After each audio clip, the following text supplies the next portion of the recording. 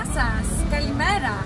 We're at the Greek farmer's market where local produce is sold to everyone around in the city, in the middle of the city.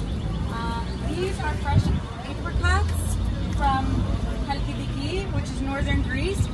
We can make an amazing marmalade uh, for breakfast, a little bit on your toast in the morning, and they have the sweetest taste. The amazing peaches and nectarina.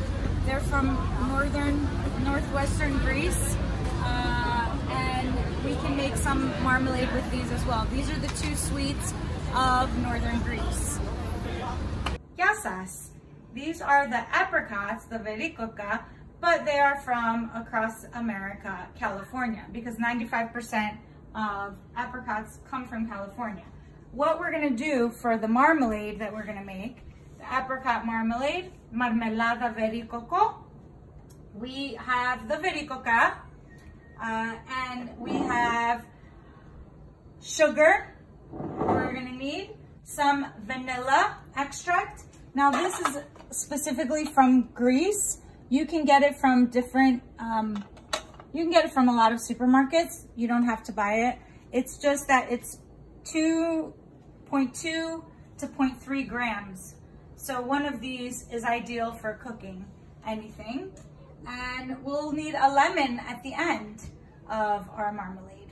So the pit that needs to come out when we're cutting, let me go to a new one. This one right here, there's a crease. That's where you start cutting. You cut around and then you take out the pit.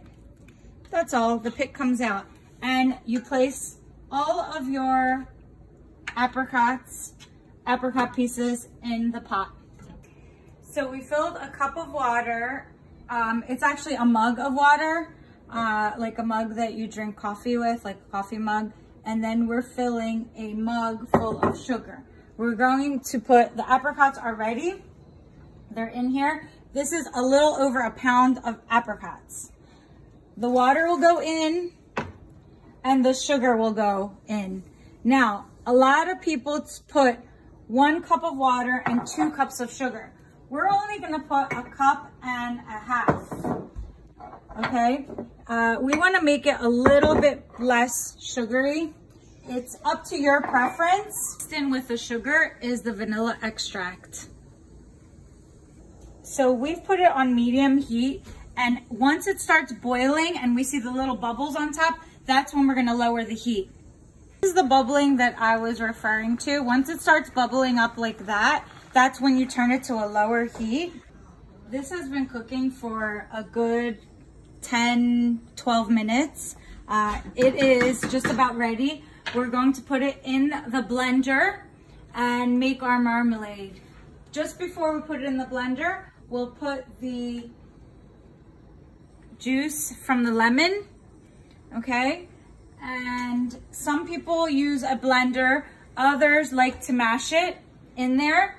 Uh, we do need the juice that's already formed. And the last piece is once you turn it off, that the lemon will go in. I've put the lemon in, I've turned it off, and I've grated it in the blender. You can mush it, mash it, you can do whatever you want. I choose the blender because the apricot has a hard um, skin. So you have some kind of mason jar or container. You can also blend it to be thick, thinner than you would want it to be, however you want it to be. And as it is hot right there, you close it, you close the container and you make sure that when it cools down, you have it upside down. So here we have some homemade bread cut into thin slices. We put some butter on our bread in the Greek culture, we like to put some butter and some of our fresh marmalade for a morning breakfast, sit around the table and enjoy marmelada, vericoco, marmelada, vericoco for homemade. kalioriksi.